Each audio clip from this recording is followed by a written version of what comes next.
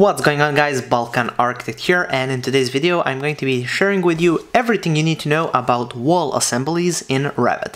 So I thought it would be cool to create this video where I'm going to be explaining how can you create a wall assembly, a vertical wall assembly and also uh, all of the wall layers and just to explain in depth how everything works, uh, how can you create layers, what all of those little settings means, mean, uh, what uh, what is the structure, what does the uh, those membrane layers, the finish layers, uh, all of that, and then also all of the little tools where you can kind of split some of the layers, add uh, some uh, sweeps, add reveals, things like that, and how can you create one of those complex walls uh, like the one that comes uh, with Revit that's that's kind of cool. It has a lot of these details and a lot of elements, so I thought it would be a good idea to show you how to recreate something like that so you can understand the wall type uh, assembly uh, in depth for Revit.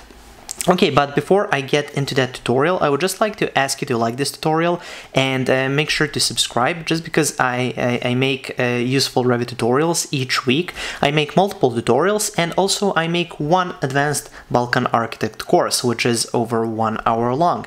Now, all of these courses, over 45 hours of content, can be found on my Patreon. Uh, first, the link in the description. So if you're interested in some advanced long form uh, uh, courses on Revit, check it out. Okay, so without any further ado, let's get straight into the tutorial. So we're going to be starting this project off from scratch. So as you can see here, I am in the Revit start page. Now I'm going to go here to models, go to new, and then uh, let's go ahead here and choose the uh, architectural template. I'm going to click OK, and now Revit will start up.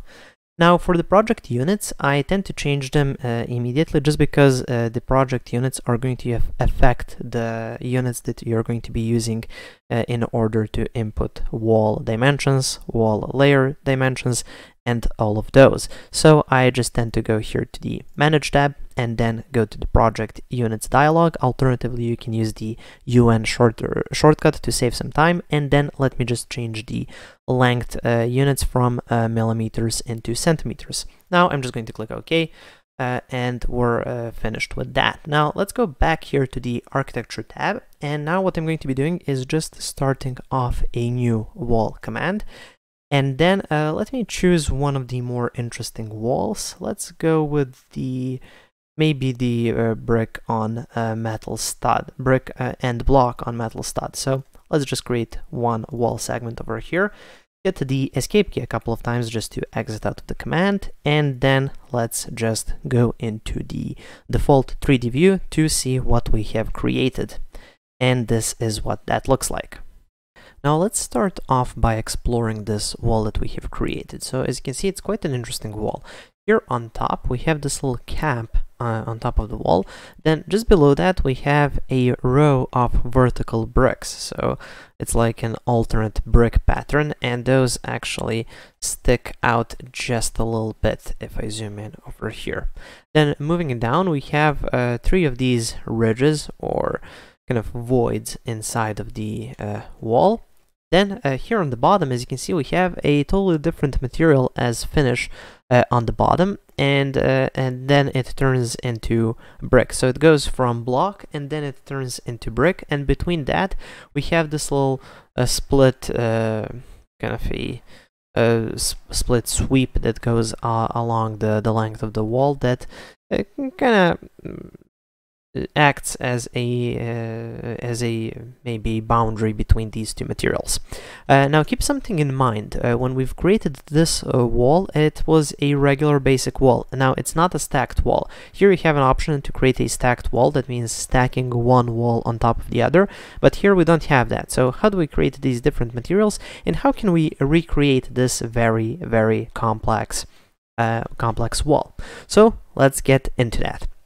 So what I'm going to do now is just select this wall and then let's just turn it into a simple wall, something like the generic 200 uh, millimeter wall. And I'm going to start off with this basic generic wall. So I'm going to select the wall and then let's go here into uh, edit type.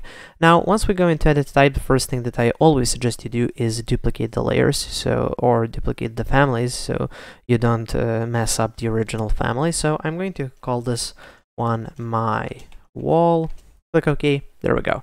Now, in order to edit this wall, let's go here into structure and then click into edit, of course. Now here we have these two lines that uh, consist of uh, that are called uh, the core boundary. Now what this basically means is anything that's between these two lines is supposed to be the structural part of the wall. So the, the thing that's holding the wall in place. So this may be brick, this may be uh, concrete, uh, it's the structural part of the wall. So that's what you want to have in the middle of the wall. So uh, here the function, so the first field in this or the first column in this little table is dedicated to functions. So here the main one is, uh, or the original one in the middle is set to structure and that's exactly what we want. Now you can open this uh, drop menu just to see what else do we have here, but for now let's just keep it at structure. Uh, here we have the option to set up the material, so I can just go ahead and change that. Let's type in concrete.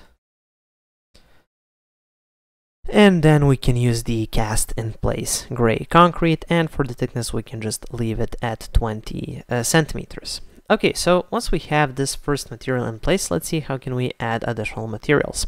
So the first thing that you should keep in mind is the interior and the exterior side of the wall. So uh, here for the layers, as you can see, it says layers, and then here on top it says exterior, and then here it says interior side.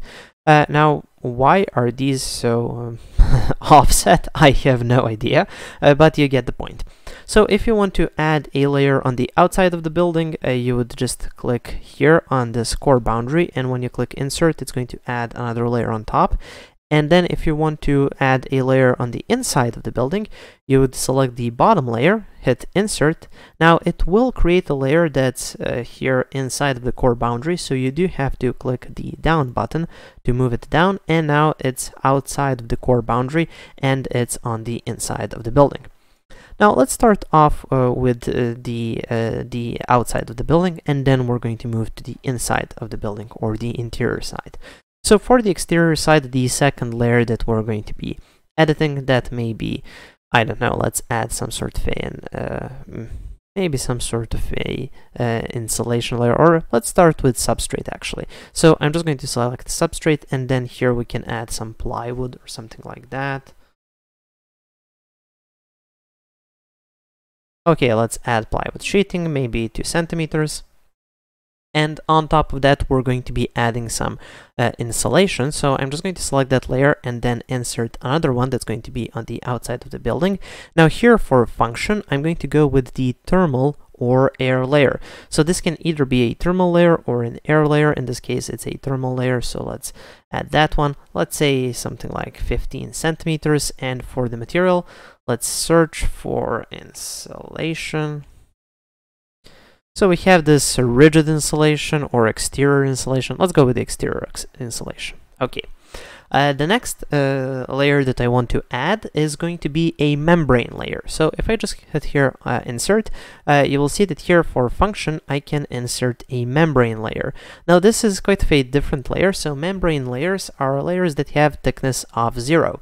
Now uh, here for the thickness, you uh, for the membrane layer, you want to leave this blank. Now uh, you might be tempted to add a number here. Maybe it's I don't know, like 3 millimeters or something like that, but don't. Leave this blank. If you add a membrane layer uh, with a thickness, you're going to get an error message. Now here for the uh, for the material, let's search. And I'm going to go with the air uh, infiltration barrier. So select that one, click OK.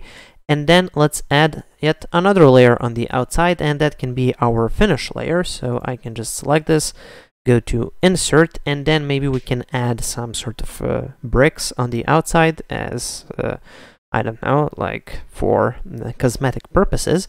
So here for the structure, I'm going to go with finish, but go with finish 1.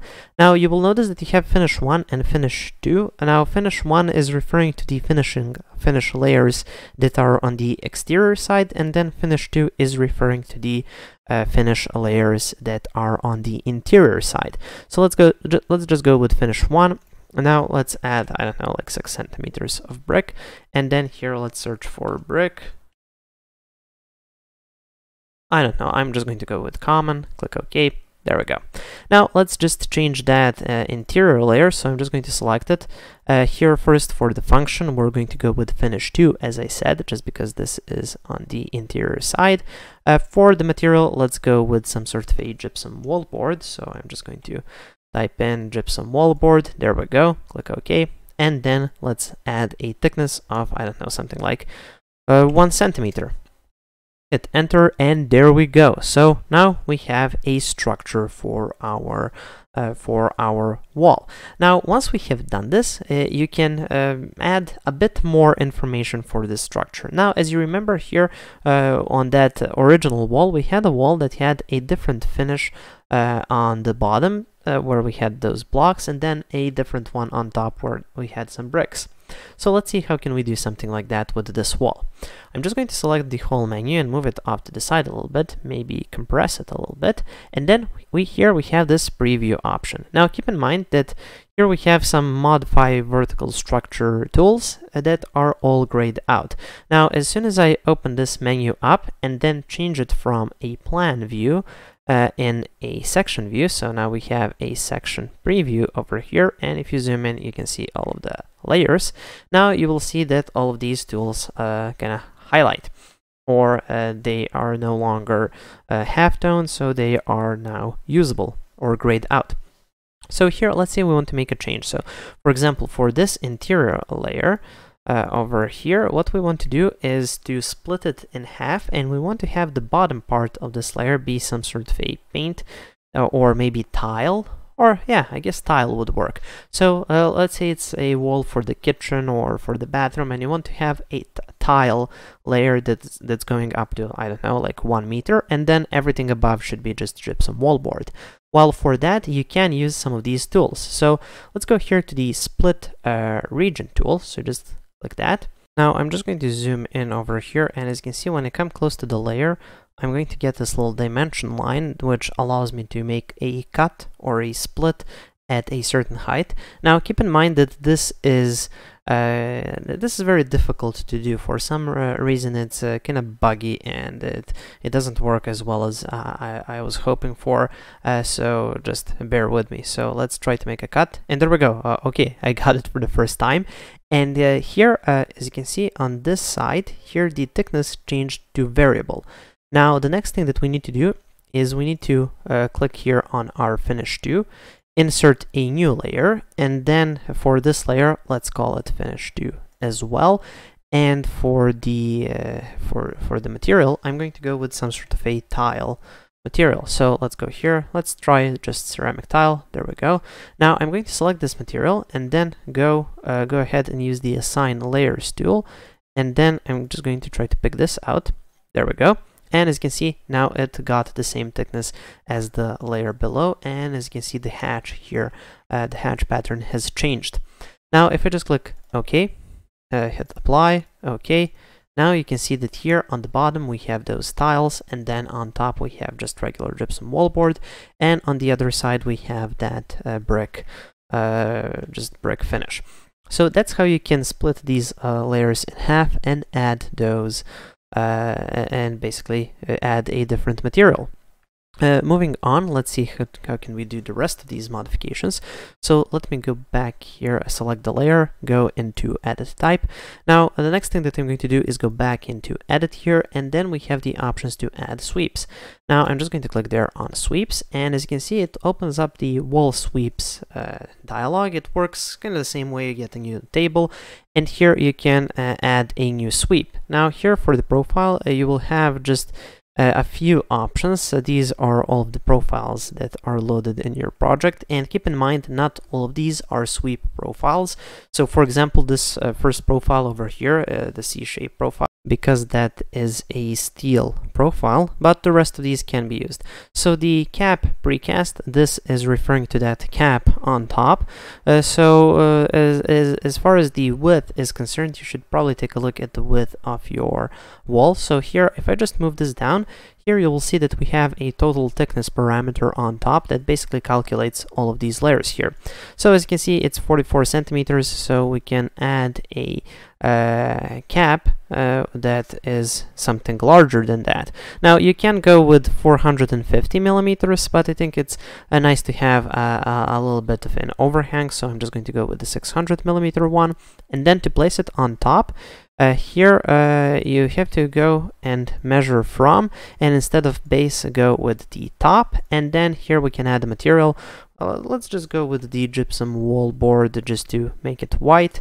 Hit apply and as you can see it appears here on top. Now you can play around a little bit with it. Uh, you can change the offset maybe type in five centimeters hit apply. Now as you can see it's kind of centered maybe six apply. Okay, there we go. You have the option to flip it around, so if I apply that, it will look like this. Apply. Uh, and uh, so you do have options uh, like that. You also have the option for a setback and uh, uh, something else, but for now let's just leave it as is. Now the cuttable option is referring to the fact that uh, you can basically place doors that would basically cut this profile in half. Okay, moving on, let's add one more here uh, uh, where we have uh, on the bottom maybe. So I'm just going to go ahead and add a new one. Now this one will be, let's see, so we have a wall sweep brick. Let's go with two bricks. And for the material, of course, let's go with brick and I'm just going to go with the soldier course. Uh, uh, distance from base and then for the distance let's go with 100 centimeters. And then uh, let's keep it on the exterior side hit apply. As you can see it brings it up over here. Now you can give it a little bit of an offset. I'm not going to so I'm just going to leave it as is. Uh, or maybe a little bit. Let's try minus 3 centimeters. Hit apply as you can see now it's kind of embedded a little bit into the bricks. So let's try minus 6. Okay, now if I zoom in over here, okay, it's kind of lying flat with this layer. I actually like that, so I'm just going to leave it as is. And then also we can just go ahead and add some reveals. So reveals are basically some voids that you saw in that wall. So for those you would just go here into, oops, uh, you'd go into add and then uh, you can just go with a simple one brick reveal, a measure from, let's measure from top and then the distance can be 50 centimeters. Let's hit apply. Now, as you can see, it placed it here on top. That's why we got an error message. So we should actually type in minus 50. And then let's hit apply. Okay, so there it is. Uh, maybe give it an offset of minus 3 centimeters. Hit apply. Oops, let's try plus 3. Hit apply. There we go. That's exactly what we want. And as you can see now, it's cutting into the wall and that's exactly what we want to have. Maybe it's cutting a bit too much, so we can go back to reveals. Let's set this to zero, hit apply. There we go, I think this looks good enough. Now keep in mind that these lines here, uh, they won't, appear once we save this. So when, once I click OK, apply, OK, and here if I just orbit around on the outside, here you can see those bricks, and then on top here we have that little uh, void opening, and on top we have our cap. So that's what our wall looks like now. So that's how you can edit the uh, vertical structure of the wall without using stacked walls. Okay, so that is going to conclude this uh, tutorial on a vertical wall assembly in Revit. Thank you for watching. Please subscribe. Make sure to like and share this video. If you want to download the project files or if you want to get access to any of my advanced courses, check out my Patreon, first link in the description. Okay, so that concludes this week's tutorial. Thank you for watching and I'll be back with a new tutorial in a couple of days. Have a nice day.